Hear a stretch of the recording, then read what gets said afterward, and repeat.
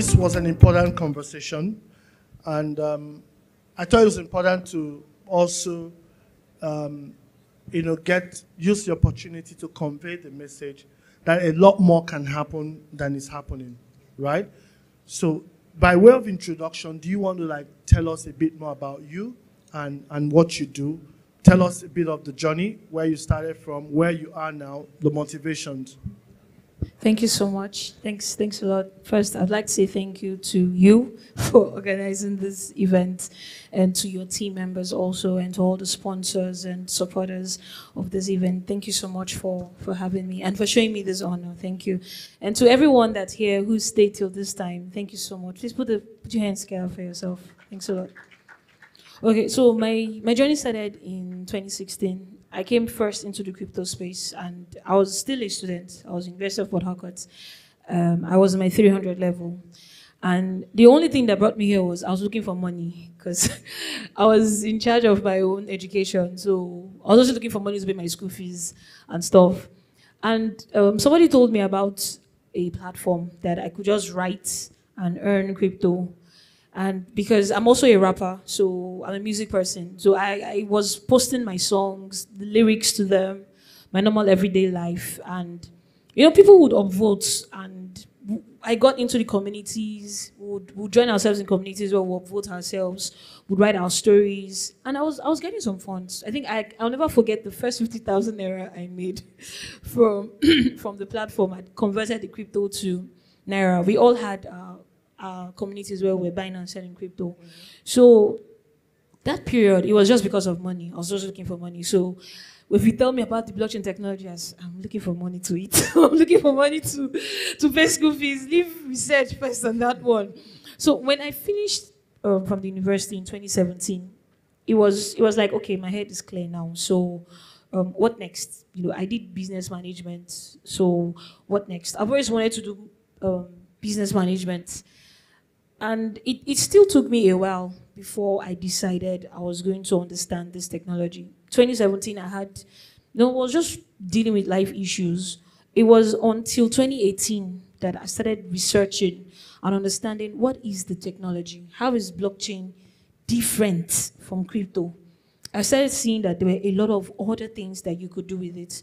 I still didn't pay attention to it till 2019. 2019, towards the end of 2019.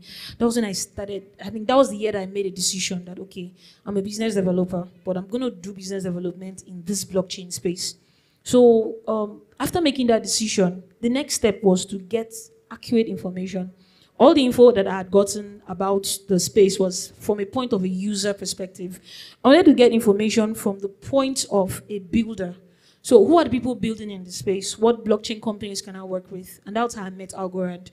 I started um, working with them as an ambassador. And that, that was in 2020.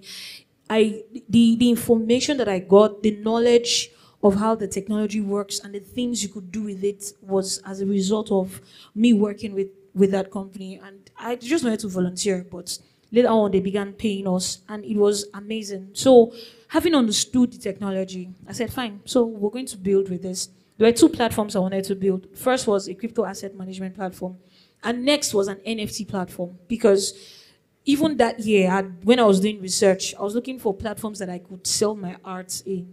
I was looking, okay, how can blockchain and music merge? And that's how I discovered NFTs. Back then in 2020, we were doing things on Ethereum chain with NFTs, playing some GameFi games before, you know, the boom came in 2021.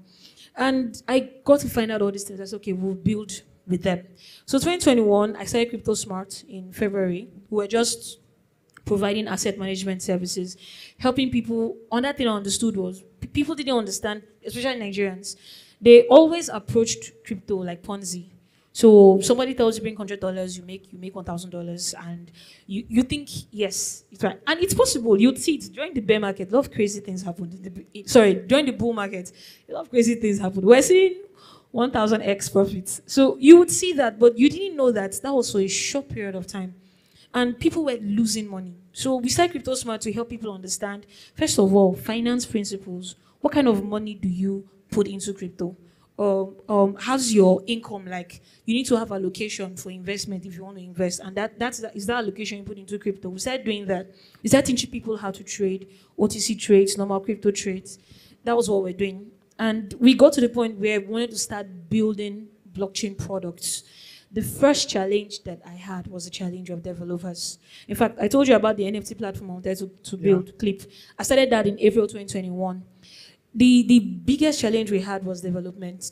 We had given what sourced it, and it, it's, it's one of the reasons for the stall that we had in the project. Developer didn't know what to do, and then again, we didn't have enough money to start hiring developers from outside the country. Mm-hmm. So we had another, you know, we had another innovative project that I wanted to put out, and it's called BitSave, the savings protocol. So I said, before we do this, we have to get the tech aspect right. So we started calling for um, developers to work with us. I had Web 2 developers come in. We also had some Web 3 developers come in. One of the first challenges that they liked to work alone. And I said, we need to change that thing.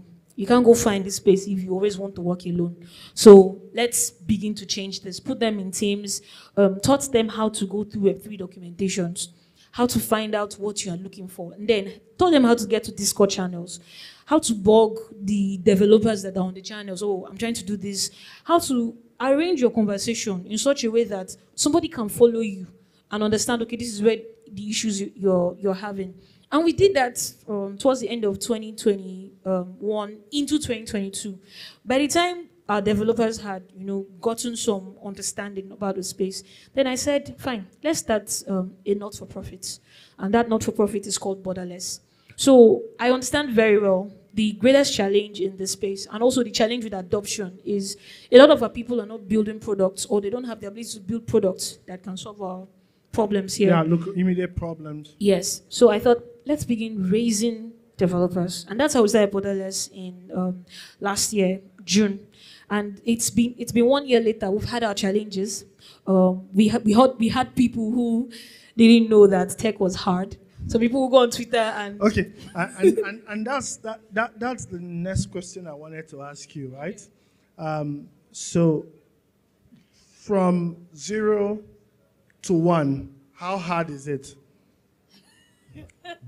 Two. I wasn't I wasn't expecting that. So so from zero to one, it's as hard as two, right? okay. So what you're saying is don't bother. Don't try. Don't even try. No, no, no. That's not what I'm okay, saying. Okay, because that's what I want to no, know. No, no, that's right? not what I'm saying. Okay. What I'm saying is don't expect it to be easy. Mm-hmm. You, you know, there's this thing when you go on Twitter, or I'm saying Twitter because that's the that's the popular that's the space for for tech and for crypto.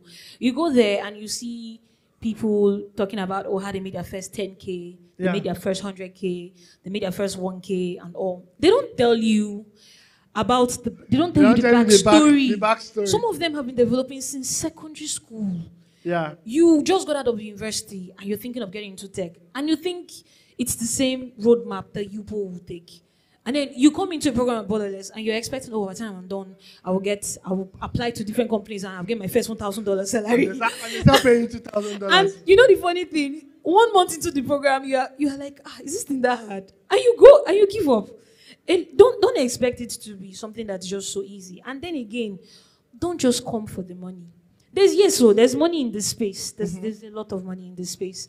But if you come in just because of the money, when you get challenges, you would you fall out. I, I usually give this example. I said a lot of the big products that people see today, the Facebooks that you talk about, the Googles that you talk about, all the Zohos that are here. Exactly. Mm-hmm all over this, but if you read the stories of the founders, it wasn't just because of the money that they came in. They were trying to solve a problem. They were asking, why is this thing happening like this? Why aren't they you able to, to do it? They're looking to change something. And then they put their all in it. You hear things about how people started their stuff from. Yes, they got they got some some of the persons would have gotten um, some sort of seed funding from their parents or whatever, but they put in the work. It wasn't the money that brought them in at the first place. But just wanted to solve a problem, and that's it. So if you come into the space, just money is good, yes, but it's not it's not enough to last to to help you last through the different challenges that would come. Awesome. Um, we can't exhaust this conversation. Borderless is coming up. Borderless conference is coming up. What, what date is that and how, how do people join? And how do people also join Borderless community as Okay. well? Okay, so I'll start with the developers program. So we started doing something recently. We started training university students for free for to learn tech skills. So there are five courses that we that we have available, and um, as long as you're a student in any of the university or you just graduated, maybe two years out of it, you can apply for the program. We'll take you in. You don't have to pay anything. What happens is we raise money through other means to fund it, so that the students wouldn't need to pay anything. So the next Cypher sessions, they're called Cypher sessions. The next Cypher session is in January, but registrations would open in December. And then we have the annual events.